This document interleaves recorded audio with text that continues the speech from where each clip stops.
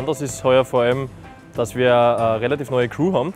Das heißt, es hat sich schon beim Teamtreffen gezeigt, dass wir da praktisch fast von null weg beginnen müssen, das RAM äh, zu erklären, äh, die wichtigsten Passagen, Regeln äh, und Umstände auch durchzunehmen.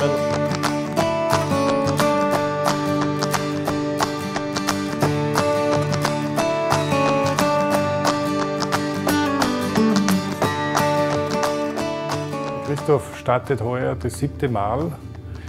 Wir können auf gewaltige Datenmengen zurückblicken. Wir haben die gemeinsam analysiert, haben gesehen, was gut gelaufen ist, was schlecht gelaufen ist.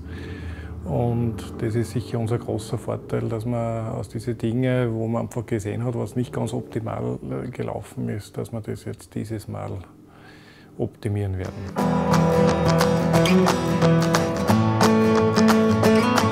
Ich bin da gerade unterwegs Richtung Kutschara Pass, äh, der auf ca. 3100 Meter Höhe führt. Man merkt da schon, die Luft ist ein bisschen dünn. Deswegen heuer erstmals Höhen akklimatisieren äh, in die Berge und einmal die Etappen anschauen, die ich sonst nur im Rennen erlebe, was mir eigentlich schon ziemlich ja, mittelmäßig nur mehr geht. Und heuer habe ich das echt genießen können, äh, die Berge anschauen bei, bei klaren Verstand, bei, bei guter Laune. Und das hat mir sicher sehr viel gebracht. Und dann war ich dann noch wie gewohnt eine Woche in Borrego Springs, wo ich mich an die Hitze gewöhnt habe und jetzt habe ich echt ein gutes Gefühl.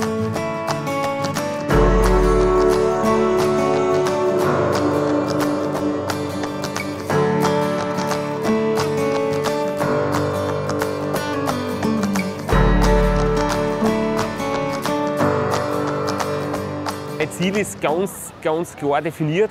Ich möchte äh, ins Ziel kommen, das ist einmal das Wichtigste. Und wenn ich zurückdenke, 2015 ist ja das nicht gelungen. Ähm, es ist also nicht selbstverständlich, auch wenn man schon das Rennen dreimal gewonnen hat, dass es immer gut geht. Also ins Ziel kommen und dann möchte ich zurückschauen auf acht Tage, wo ich mein allerbestes gegeben habe in jedem Moment, wo ich gekämpft habe, wo ich meine beste Leistung abgerufen habe, wo ich nicht irgendwie taktiert habe oder auf die anderen geschaut habe. Und ich möchte im Ziel einfach mit, mit quasi keiner Energie mehr über ankommen. Ich möchte alles geben und dann ja, ein gutes Ergebnis feiern.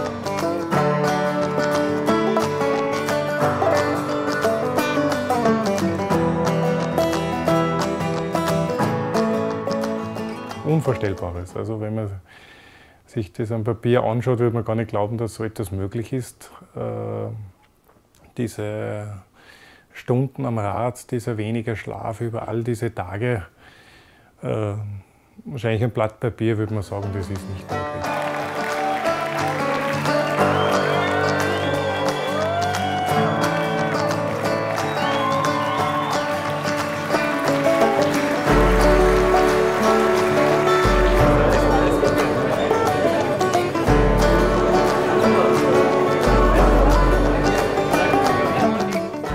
Sehe, wie alle motiviert sind, dann mache ich das nicht nur für mich, sondern ich mache es für mein Team und auch für viele Leute, die mir da zuschauen, die mitfiebern, die mit dabei sind, für die ich irgendwie ein Vorbild und eine Motivation bin.